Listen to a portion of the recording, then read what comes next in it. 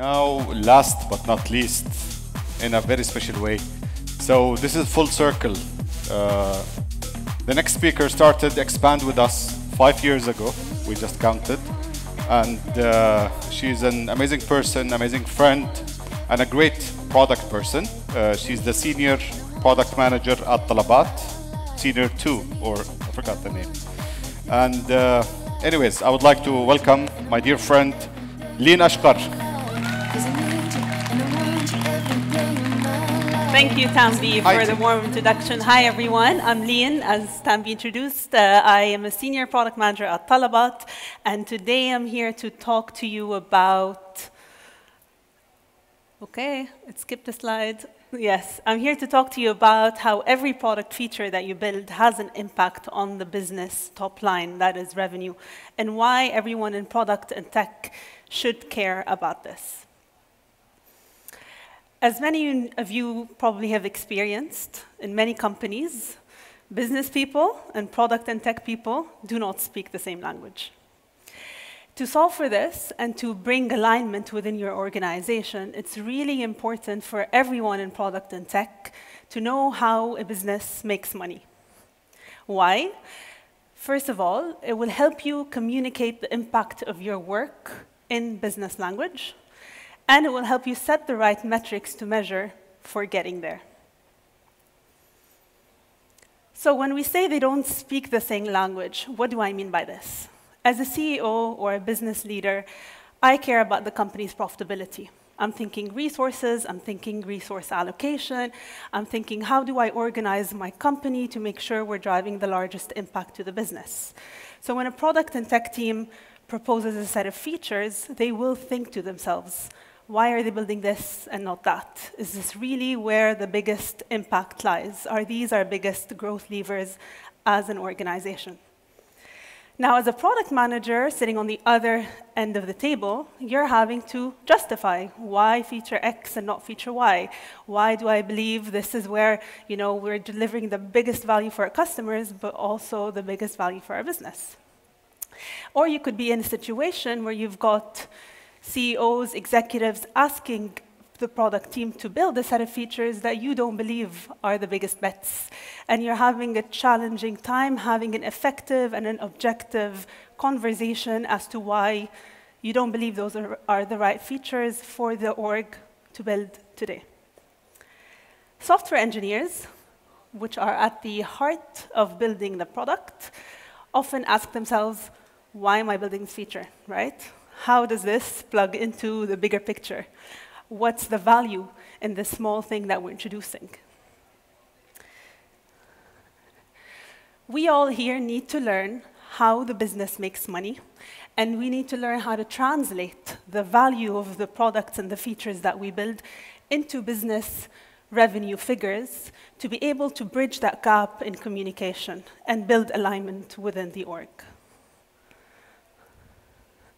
So today I'm going to walk you through the basics of finance, revenue, costs, profit. Um, we're going to talk about how you translate the value and the work you do in product to those top line business metrics, going through metric trees, how you can go about choosing the right metric for your team, and then we'll sum up with a few key takeaways.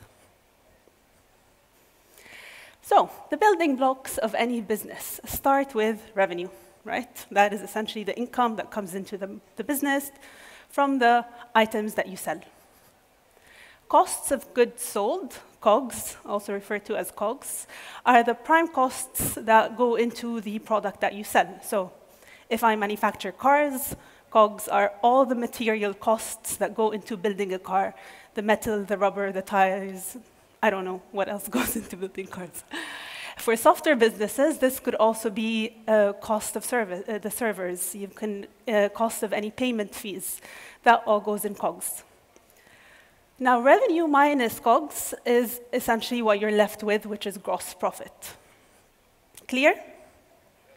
Good.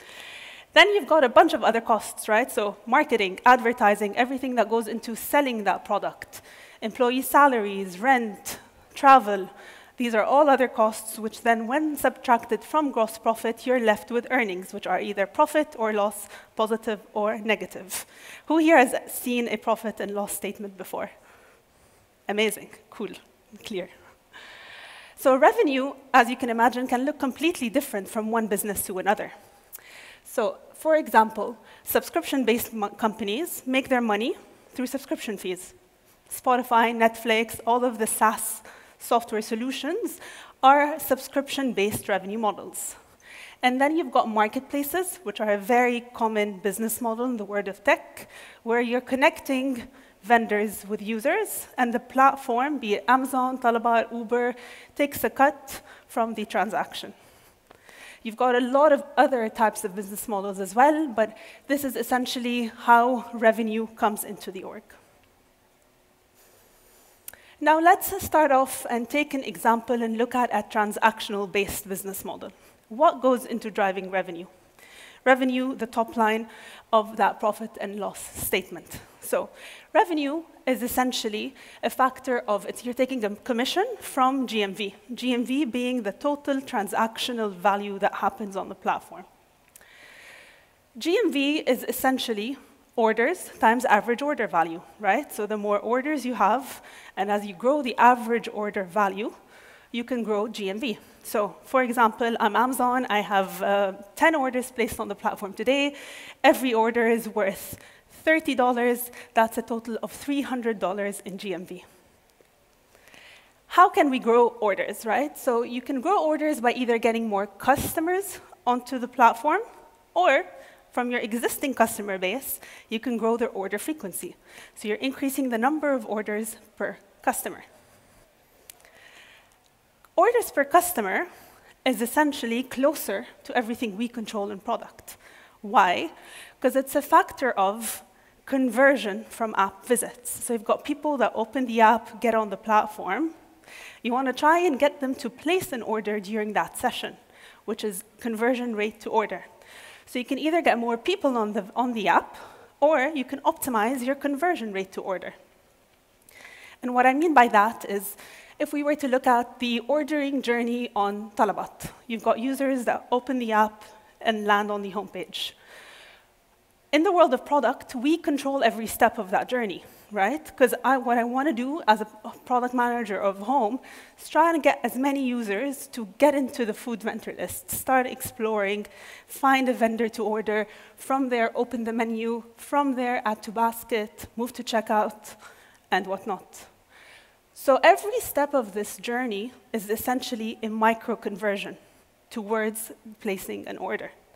And every step is something we can control, right? So you can think of the many features that we can introduce within the product that get users closer to placing an order through delivering a better user experience. When I first joined Talabat, I was a product manager for search. And the first thing that came to mind was that's it. All I'm working on is search. And it's only until I started getting deeper into the world of search and building features that I really understood the impact of such a small functionality for customers and the business, business's top line. So let me walk you through an example of a feature I've introduced in search. In search, we knew that users come to search not only to search for a vendor. I'm here to order, I don't know, shawarma Saj, or I forgot the names. um, they also look to be inspired and they're going to go through the results to figure out what's the best match. And that's where our hypothesis was. If we add a sort and feature functionality, we will help users refine their choices and more easily find something to order, so improving that search to menu journey, right? So my goal was to get more users from search to open up a menu, one step of the overall end-to-end -end journey. So we ran a test, an A-B test, and we saw a 2% uplift in MCVR2. So that's one step of the conversion journey. What does that mean? right? So if I go to people outside of product and tech, we said, amazing, this feature del uh, delivered value for our customers, but also for our business. We see a 2% uplift in MCVR2. It's very hard for someone outside in product and tech, business leaders, to really understand what does that mean. And this is where your metric tree becomes super helpful. Because what you want to do is you want to take that micro conversion, which is all the way at the very bottom of the tree, and translate that up to numbers and revenue figures that your business leaders would understand. So, saying that feature, assuming it, it drove up MCVR2 with roughly 2%, this will then drive up the end-to-end conversion journey. So assuming that uplift was 0.02%, what you can then do is, assuming your app visits, right, stay as is. And let's say we have 100,000 visits a day, multiply that with the additional conversion that you get. That gives you uh, 2,000 additional orders per day. So speaking in on orders, people start understanding what that is. But you can also go a step further and translate orders into dollar value, something that they understand and care about even more, right? So you take the orders and you can multiply that with your average order value, and you can translate that into a daily uplift in GMV, or you can say an annualized expected uplift of GMV of $21 million, right? So this is an example, but this is essentially how you can start moving away from just saying this feature drove a 2% uplift in MCVR2 to really putting a dollar value to that. For comparison's sake, right, now you can look at another feature that we've shipped, which is where we added a top-rated tag on menu items. That drove up that step of the conversion journey, which is menu to basket, MCVR3A, 1%. You can do the same math and go and, and translate that to an estimated GMV uplift of $15 million. So now I can compare, right? As a leader, as somebody who's looking to figure out how do I structure my org, where do I invest and double down in which teams, where are our biggest opportunities, this, these are numbers that I can understand. And this is not just important for you to translate the, the, results of your experiments into dollar value. You can use this exercise to also help you prioritize your bets. So if I have a backlog of features, and I know that you know, customers really want these five features, you can do some math on top of that to do a bit of an estimation of what's the expected uplift in that conversion, translate that to GMV, and then you can this will help you put a bit of a impact metric on the features that you have planned to be able to prioritize and have conversations as to why we're shipping this and we're not shipping that. Cool. Now we're going to look into a different type of a business model. So, subscription. Netflix. I'm sure all of us here use Netflix or some form of a streaming platform. So, revenue for subscription businesses comes from subscription fees so you grow that by either you having more subscribers on the platform or higher average subscription fees per subscriber. To, to drive up subscribers, you either get new subscribers or you make sure that the subscribers that you have today are retained. You don't want them to churn, you don't want, them to, you don't want to lose them. New subscribers are not that hard to drive up, right? Same to what we've just covered. You've got people visiting the app, and you're, you're measuring a conversion to subscribe. Retained customers, retained subscribers, however, is where you really need to understand what is it that keeps your customers on your platform? Why do they stay on Netflix? What, what is it that they enjoy in your product for them to stay subscribed and not decide to, you know, churn next day if they try a new competitor? A simple way at looking at this for Netflix is perhaps, you know, if users are watching, average number of hours, they're engaged. That's a clear measure of I'm using your platform, I'm likely to stay using that platform. But that's not always enough, right? Why? Because what are the early indicators that tell me that this user is really enjoying Netflix? So, for example, average time to find a movie. Who struggles with deciding on what to choose and what to watch when opening those streaming apps? We all do. is that perhaps maybe that's a good early indicator to say if, I'm try, if I improve that part of the experience, help users discover things to watch faster, they're more likely to stay on the platform. They're more likely to remain as retained subscribers. So you can start coming up with some assumptions of what those input metrics can be. And that's what I'm showing here with these dotted lines.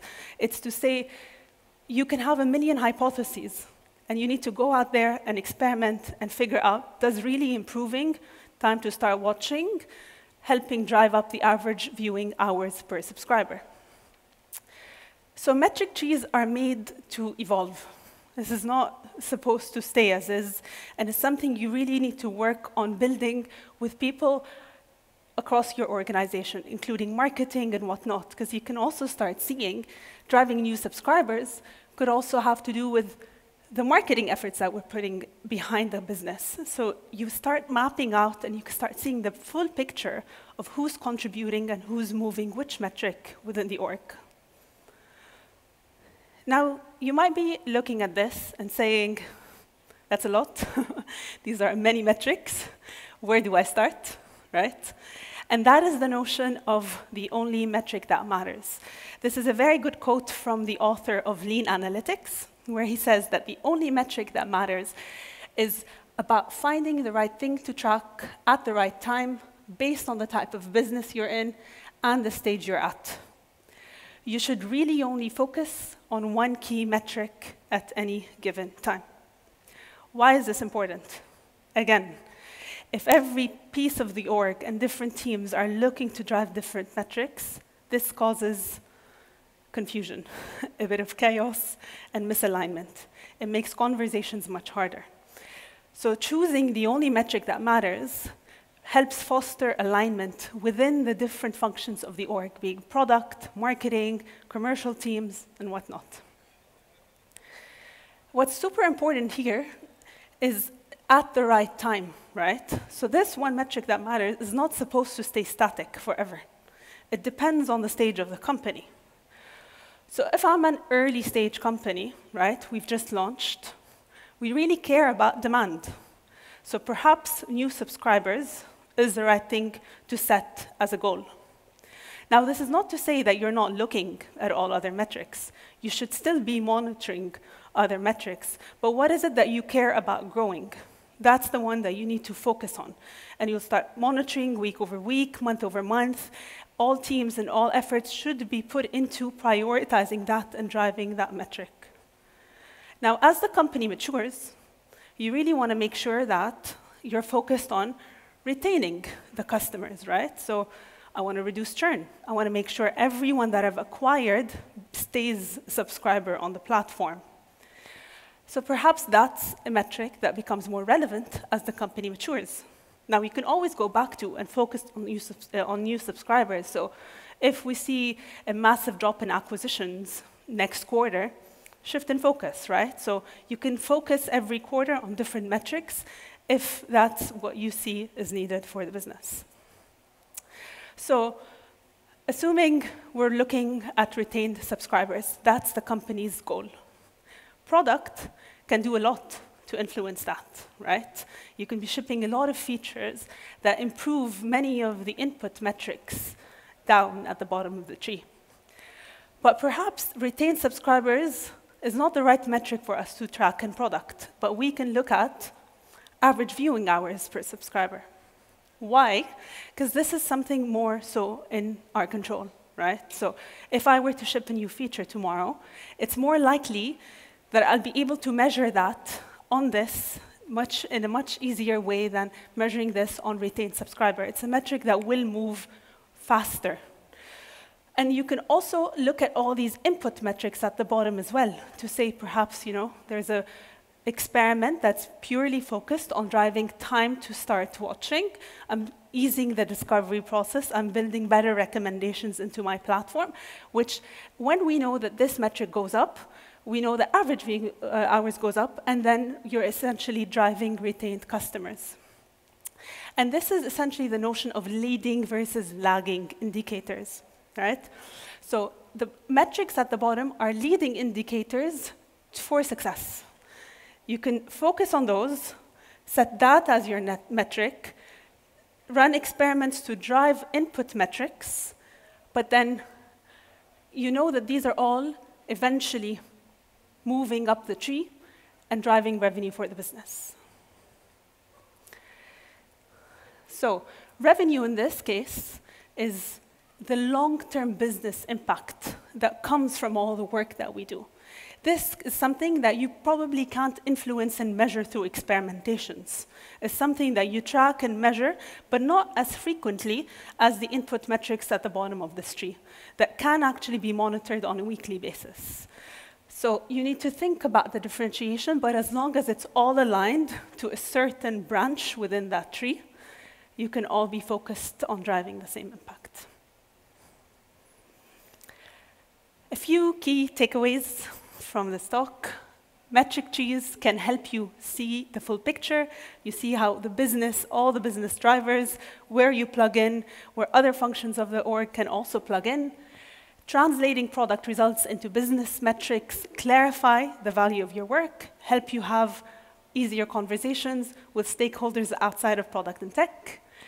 Choosing an actionable leading indicator which ladders up to the company's goals is very important. And last but not least, for everyone in product and tech, if you gain financial knowledge, it really helps progress your career. You're able to have conversations. You understand your teams on the other side of the table. What is it that they think about? And you can help speak the same language. If you're interested in learning more, these are two very good resources, Lean Analytics book and a playbook by Amplitude called the North Star Playbook. And I'm also happy to connect with anyone who has any questions. Thank you very much.